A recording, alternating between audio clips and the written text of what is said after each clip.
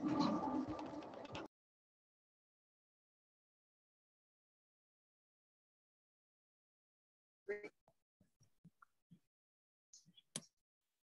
right. Morning.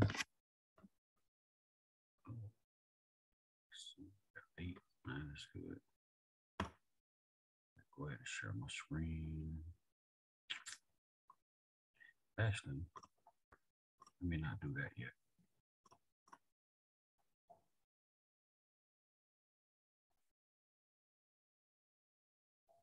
So somebody was supposed to, well, not somebody, but I asked y'all to finish this problem and to present it today. So who's going to be the, the teacher for the moment to walk us through this problem?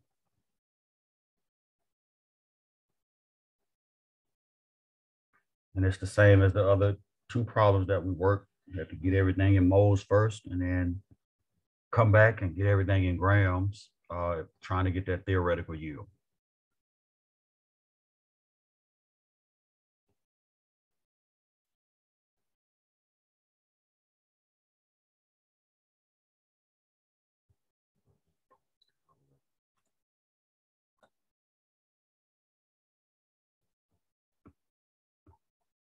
Two point six three moles of CO. so knowing that, that's that's my limiting reagent. So we ought to be able now to look at the equation.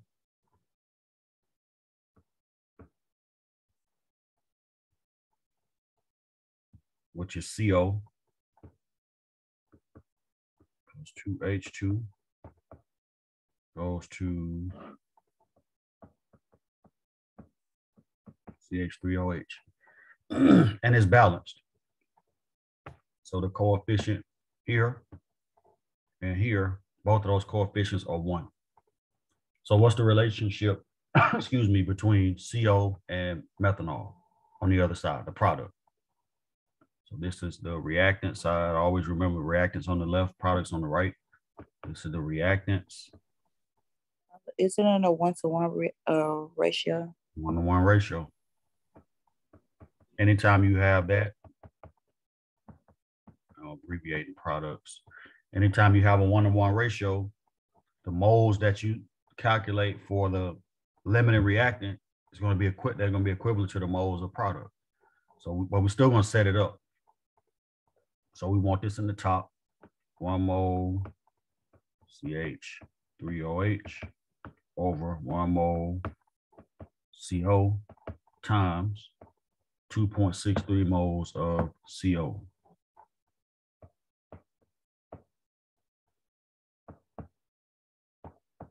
So moles of CO will cancel. Obviously, that's 2.63.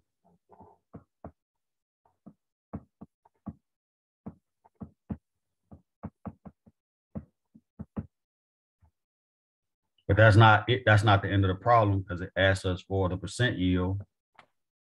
But in order to get the percent, we need the theoretical in grams. So this is the theoretical yield in moles.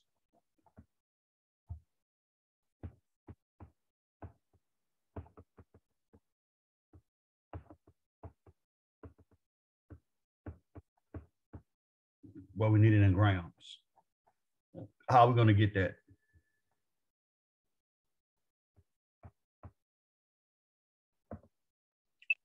Uh, do the moles to grams equation.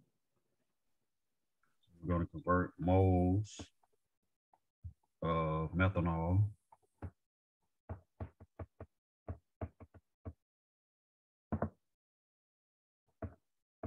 to grams of methanol. And you're right. We're going to take the um,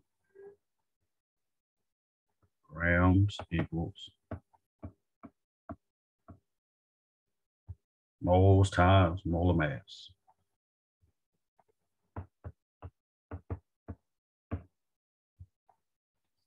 I'm put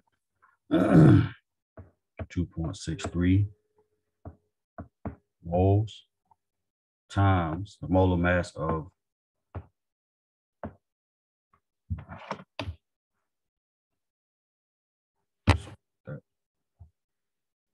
of uh, methanol, which is 32. Right, this is CH3 OH, which is that's 15, that's 17. Right, somebody calculate that real quick. Moles are going to cancel, left with grams.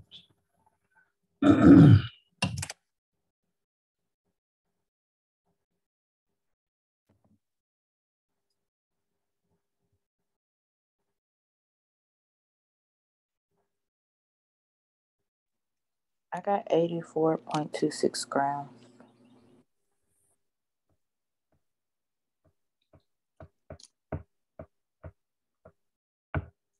How much did it say we we made? 75 grams. Okay, great. So the actual, so now for the percent. So this is my theoretical yield.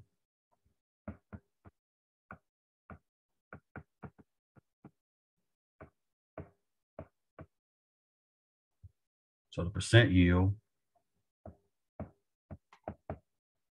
is actual oh, over radical times 100.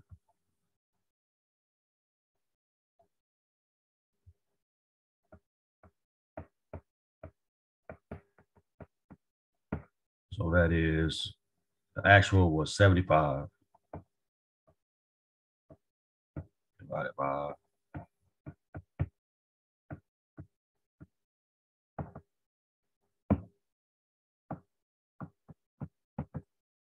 right? What you got? Eighty-nine percent. 89%. Good. Excellent.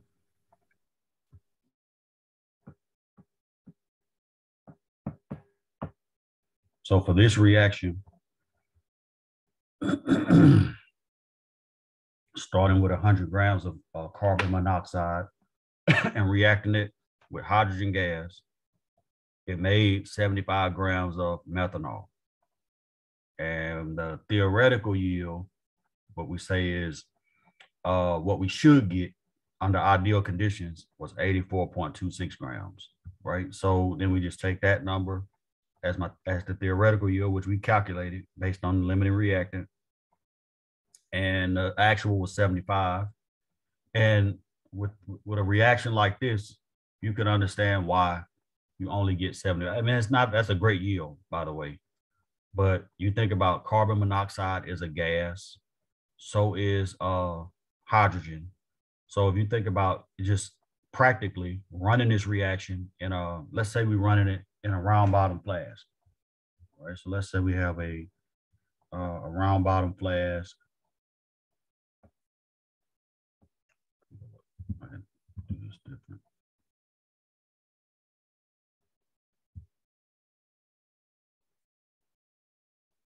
Right, and we're piping this in. So this this flask is sealed up, and we have like a needle coming into it or some type of uh, gas line with pumping in both gases, right? So CO from one side, H2 from the other side.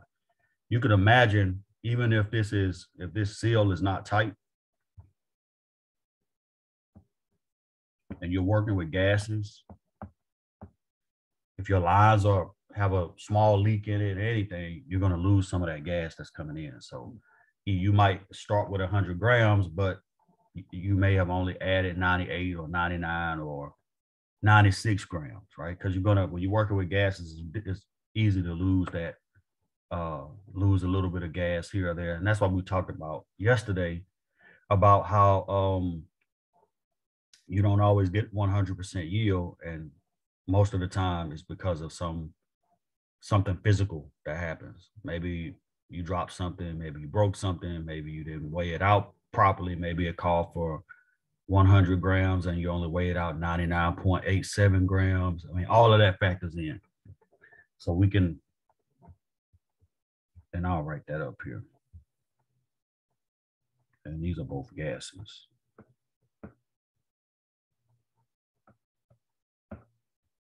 So if any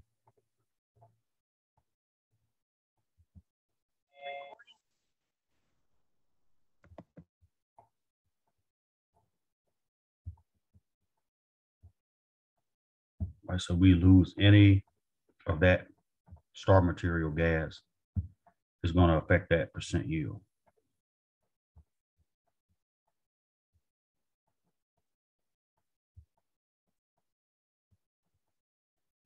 Right, so that's how you think about that. You've got 75 grams and you expect the 85 grams, things happen.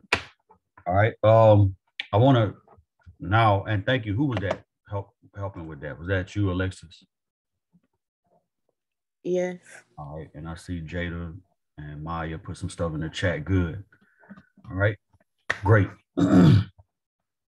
Thank you for your input and for your participation. Let me um, switch screens real quick. So I want to talk about uh, book will have a simulation for titration, but they but they don't. Let's see, I don't want to do that one. I looked at it last night and it sucked. Uh, where's that simulator?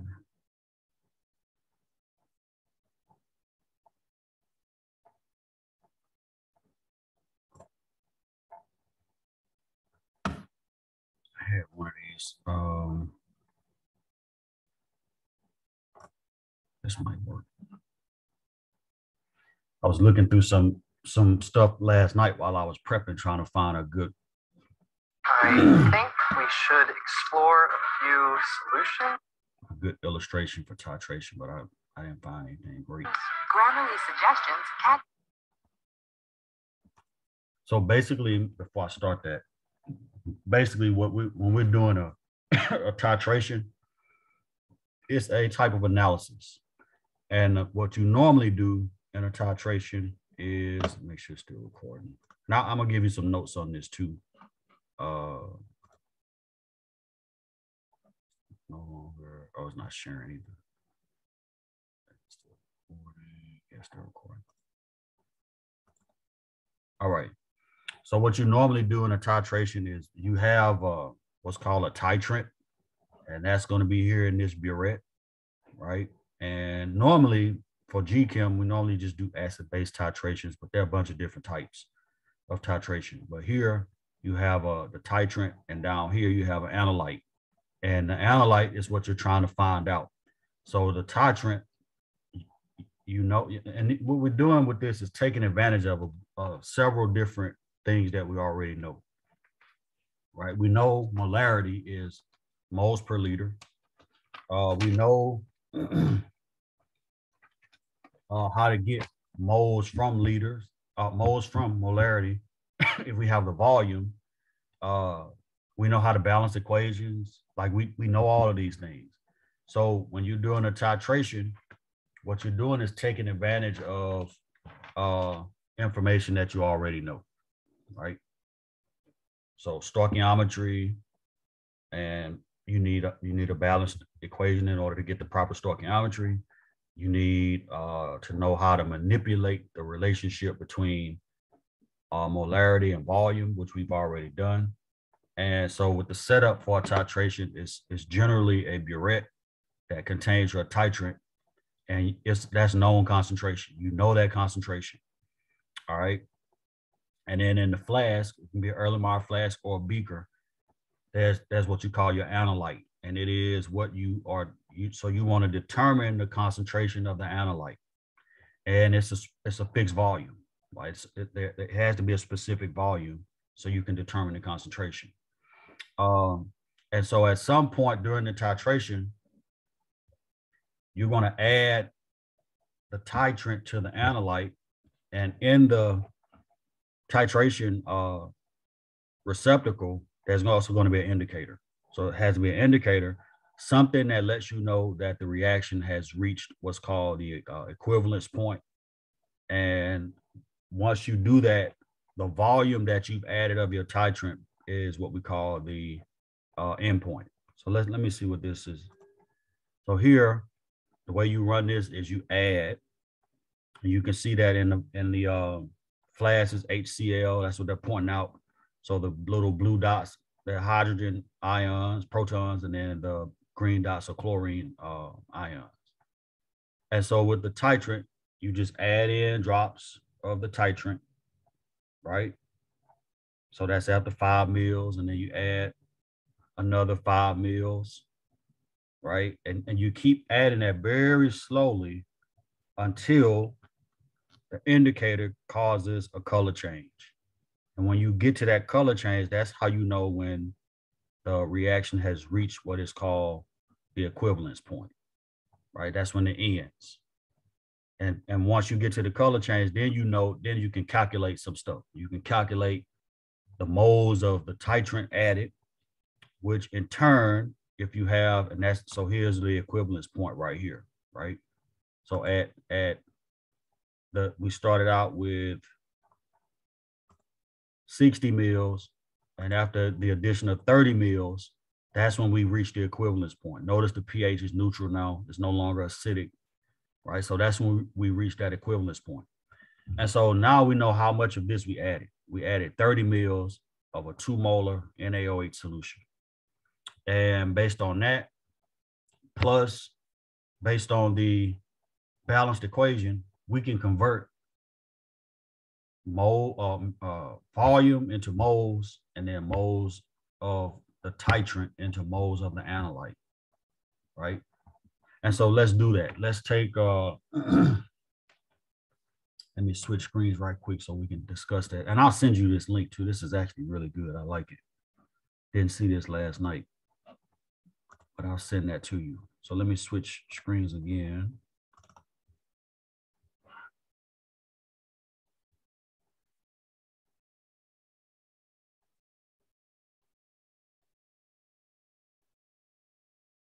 Come on.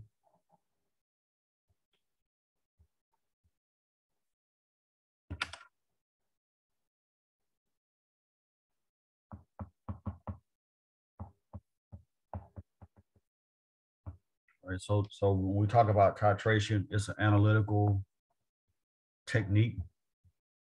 There are lots of different types. You can do redox titration, you can do acid-base titration. there are multiple types of uh, titrations that that you can do, but the overall uh, process is what is a process of what we call volumetric analysis.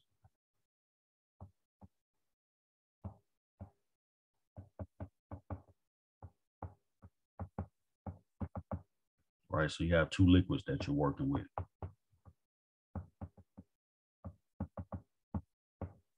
Right. So again, the uh, uh, titration involves what we call a titrant and analyte.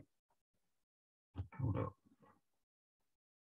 Let me do this. I'm gonna find a illustration. Let me see.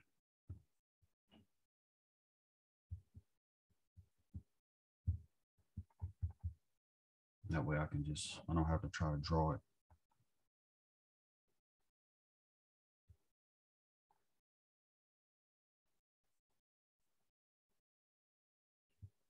See, yeah, we go. Hold on. Give me one second. Bring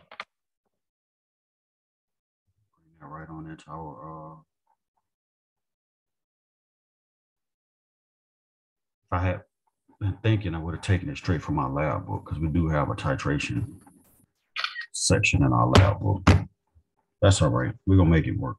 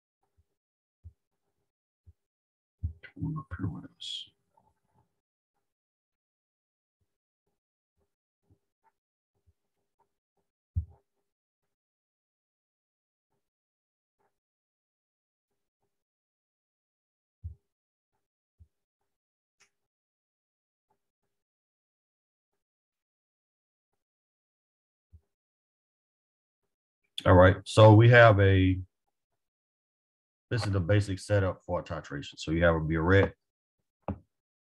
Right, the burette contains what we call your titrant.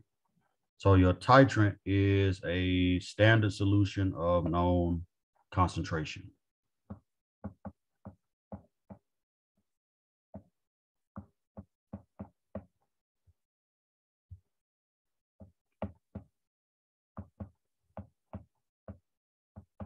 You got to know the concentration of that. Otherwise, you can't you can't calculate the number of moles or anything and and use that equation to convert from moles of the analyte to moles of the titrant and vice versa. So that's your that's your titrant. Uh, the burette has a stopcock at the bottom. You turn it vertically to open it. There's a little hole right here.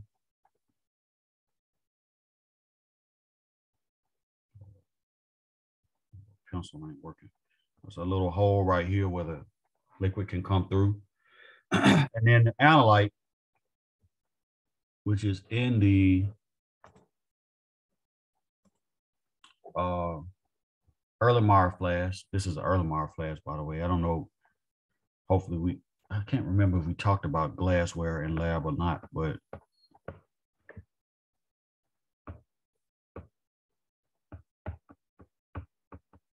Erlenmeyer flask here. And then with the analyte, this is what we're trying to analyze. We want to determine this concentration.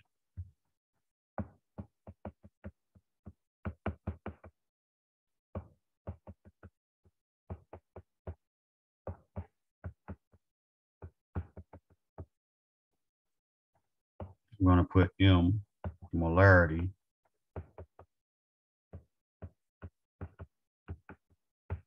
Of the analyte. Right, so that's that's the purpose of doing a titration. You have a solution of known concentration, that's your titrant, and then you add it to your analyte. And at, at some point, uh, during the addition, you're gonna reach what's called the uh, equivalence point, right? So within the analyte, you also have an indicator. So normally, uh, if it's just a simple acid-base titration, you use a indicator like phenolphthalein or something like that, and it'll just turn the analyte to like a pale pink.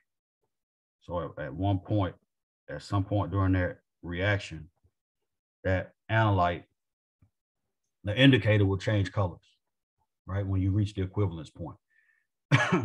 so you have to have an indicator in, in order to determine when the reaction ends.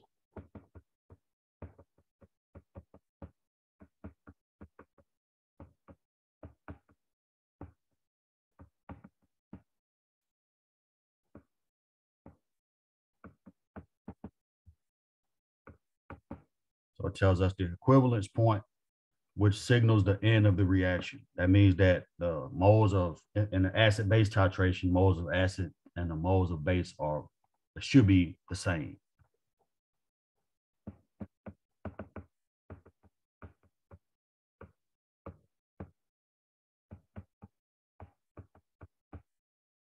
All right. Depending on what type of titration, most of them are still use an indicator, but depending on what type it is, it's not always acid base. It may be a redox titration or something, some other type of titration. Um, but when the color changes, that's when you know to stop adding titrant. That's when you know the reaction is over. And you just add a little bit at a time until you see that color change. and once you do that, the volume that you've added of the titrant is what we call the endpoint.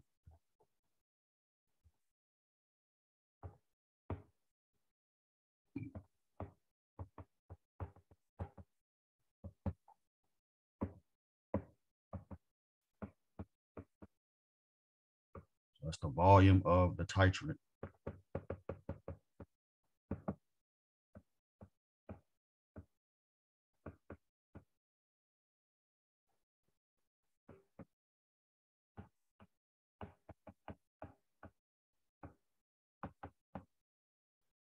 Basically to cause that equivalence point to, to happen, right? So when you're reading a burette, I know many of you already have probably already done this, like these little graduations, these little lines are, are uh, I'm assuming for this burette, we don't know, it could be milliliters. Most of the time it's in milliliters, right? So every, so when you read this, if there's liquid in here and it's, and it's a, um, it's a clear liquid, the way you read this is there's going to be kind of a little curvature to where the lot where the liquid stops, and that's called a meniscus. And you always read from the bottom of it. So if you have a if you're doing a, a titration, and let's say uh, this is um, 50 mils, right? You want to read it from here. So it's actually a little, it won't be exactly 50 mils. It might be 48 point something or 49 point something because you want to read it from the bottom of that meniscus. Right, should always read.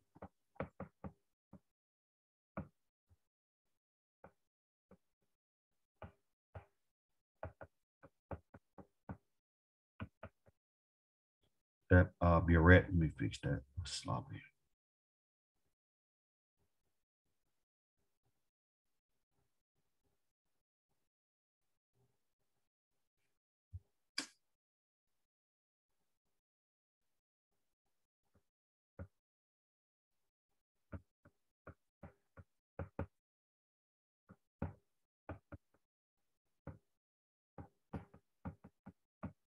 You always read it from the bottom of the meniscus.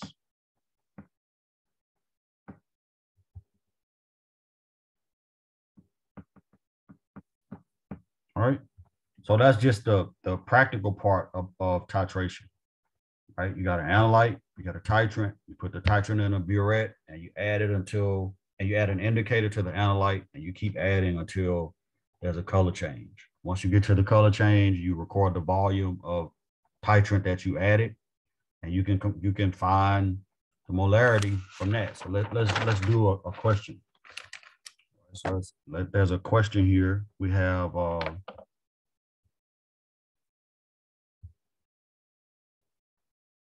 we have HCl, very basic, plus NaOH goes to NaCl plus water. All right. And for this question, the endpoint is um, 35.23.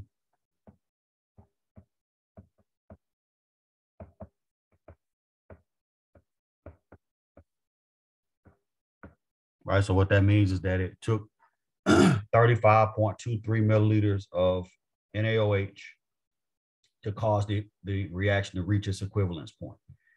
All right, and then the concentration of NaOH 0.25 molar. And my analyte volume is 50 milliliters. So this is NaOH.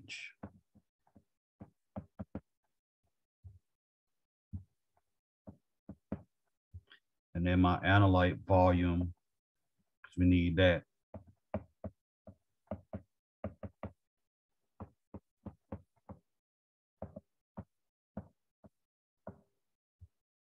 right? So this is my titrant.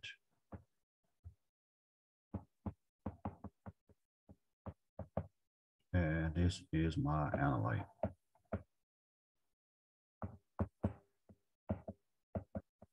Right. So now we want to determine the analyte concentration.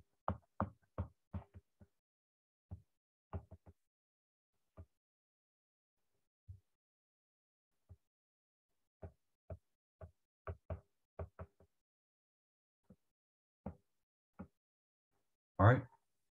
So we can do that. We can do that based on, first of all, everything here is in milliliters.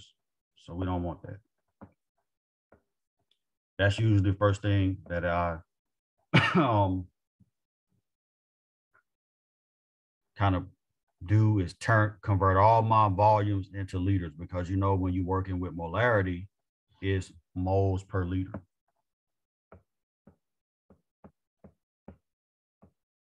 Moles per liter. So anytime you're working with molarity, is moles per liter. So all your volumes need to be in liters. So let's do that.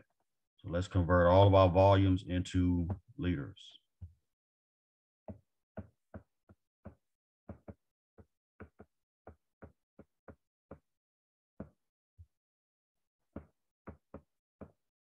So thirty-five point two three milliliters is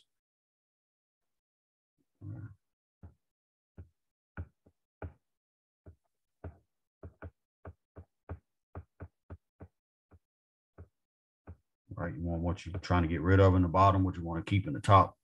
So it ends up being 0.03523 liters. And then that's for NaOH. For HCl, it's 50 milliliters, same thing. 50 milliliters times one liter over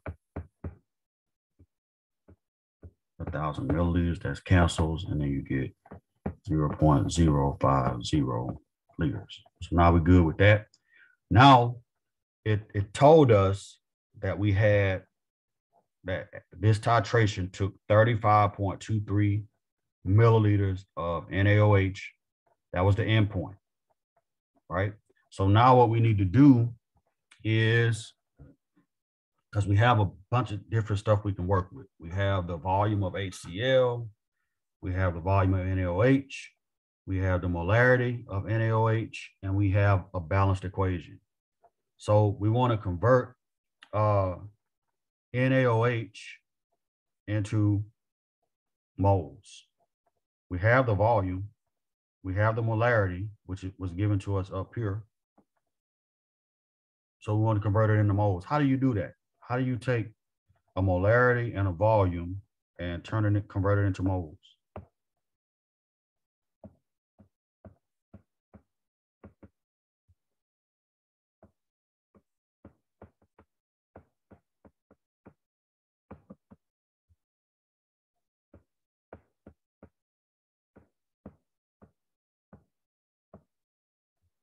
So we're going to convert that into moles with the with the molarity. So molarity is of NaOH is 0.250.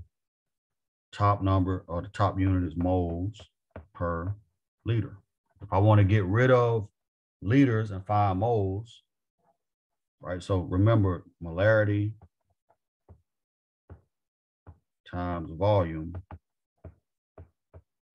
is moles right? That's that's how we manipulate that. So we're gonna take that 0.25 times the volume of NaOH, which was 0.03523 liters. So liters are gonna cancel. And I'm left with a number. Anybody got it?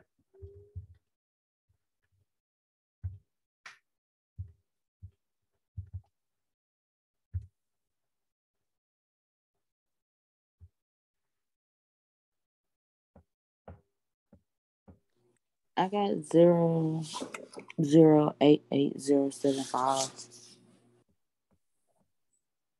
All right, great. That's moles, right? Yes. Mm-hmm. Of NaOH. That's very important. So now we, that we have that, we got moles of NaOH and we got a, a balanced equation.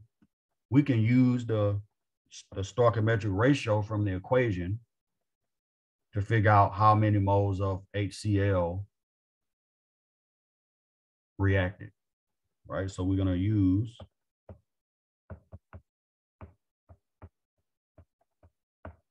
the balanced equation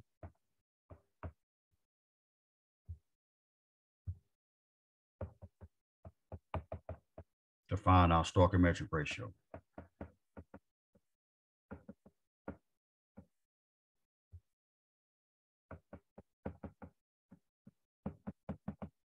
Right? And just to recap the equation is, is Na OH plus HCl goes to NaCl plus water.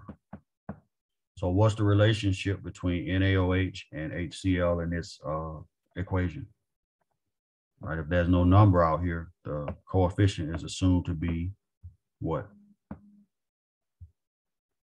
Balanced. It's balanced. The co- coefficient is assumed to be one. Right, so we're gonna say if we're looking for HCl,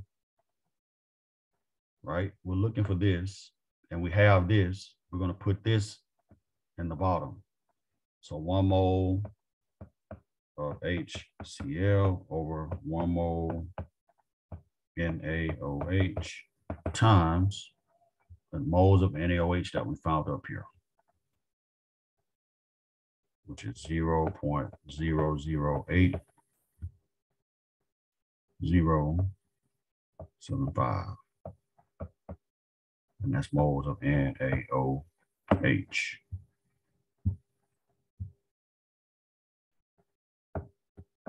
Right, so that's gonna cancel with that. So it's the same amount, right?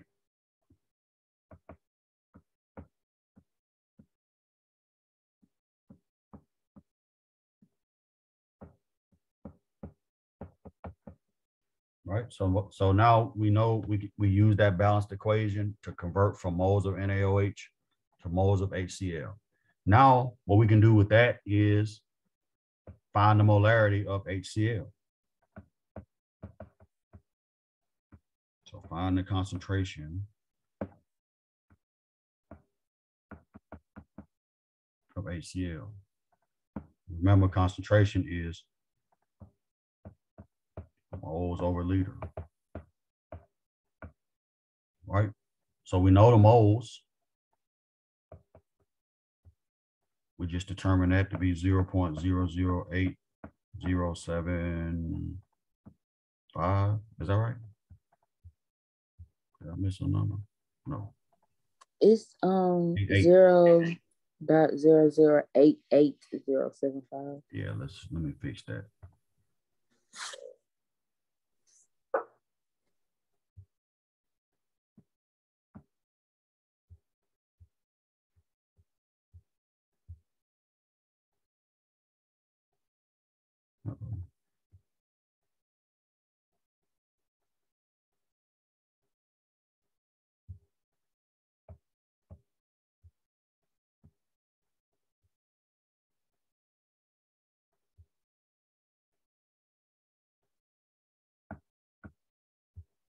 All right.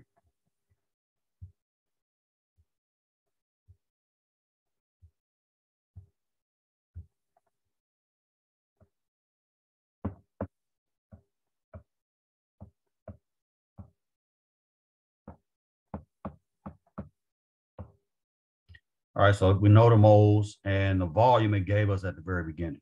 It said that the sample of HCl was 50 milliliters. So that's divided by 50. Uh, And we already had converted it into liters. So all the information we had, we just applied it. All right, so what's the, what's the uh, concentration of HCl? And for this example,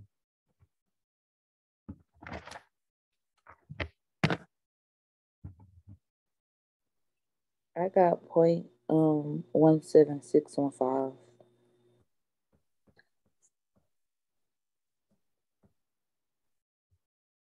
And we'll just put a big M out here. So that's the concentration of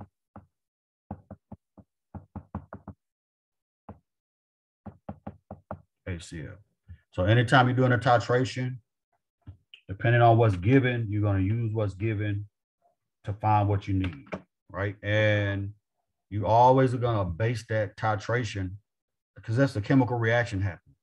So if you know the equation for the reaction and you balance it, it's the same concept that we've been doing with, with, uh, the stoichiometric ratios. We can convert any of the substances into any of the other ones stoichiometrically using that ratio, as long as the equation is balanced. All right, any questions about that?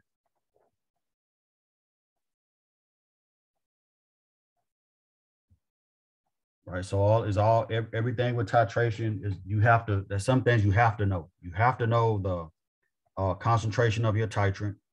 You have to know how much of it you added. uh, and you have to know how much analyte you have uh, in the flask. If you know those three things in the balanced equation, you're good. Because once you figure out how much titrant it took to get to the equivalence point, that volume and the concentration of your titrant will give you the moles of titrant. And then you can take those moles of titrant and convert them into moles of analyte using the stoichiometric ratio uh, from the equation. And the equation has to be balanced. If it's not balanced, you're up the creek. Um, actually, I have another example, but I'm not gonna do it. We're gonna, we're just gonna stop here because I think this is enough of ti- titration to give you a feel for like how to solve a problem like this. All right, any questions from anybody?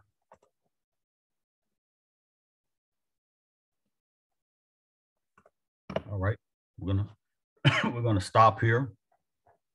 And we'll pick this up, we'll pick back up on Friday. That's okay, Maya. I see your stuff though. Thank you.